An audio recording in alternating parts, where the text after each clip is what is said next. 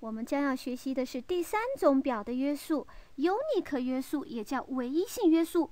唯一约束很像组件约束，被它约束的列哈，它的数据是不能重复的。只不过呢，它不像组件约束一样哈，一张表只能有一个组件约束，一张表呢其实可以有多个 unique 约束的。好，现在呢，我可以给 alter table。Emp copy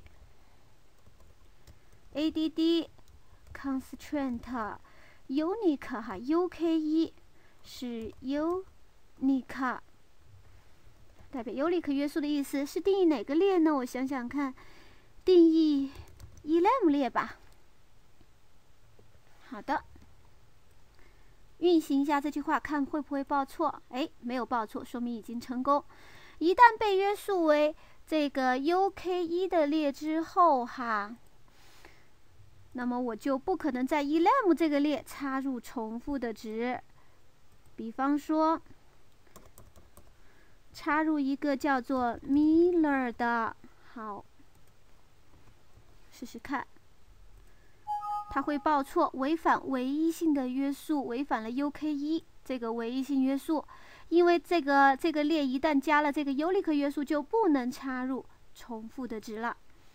好，这个就是尤里克约束。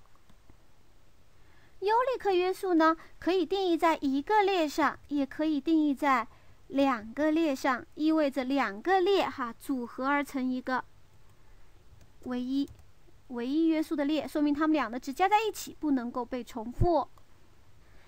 记得这个地方一定要加逗号哈。如果我是两个列上建的一个组合列的唯一性约束，说明是这两个列加一起的值哈，加在一起的一个值的组合不能够被重复。好，那我们优利克约束的这个内容就介绍到这里。